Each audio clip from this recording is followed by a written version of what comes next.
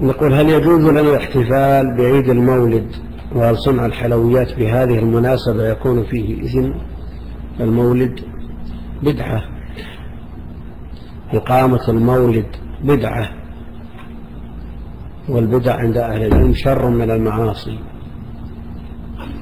هذا إذا سلم هذا المولد من شرك. أما إذا اشتملت الكلمات التي تلقى فيه والخطب والقصائد على الشرك فالأمر أعظم. صنع الحلويات بهذه المناسبة يكون فيه لا شك أن هذا مشاركة في أمر محرم فيحرم صنع ذلك. لا تنسوا الإعجاب بالفيديو والاشتراك في القناة تشجيعا لنا لنستمر بنشر المزيد إن شاء الله.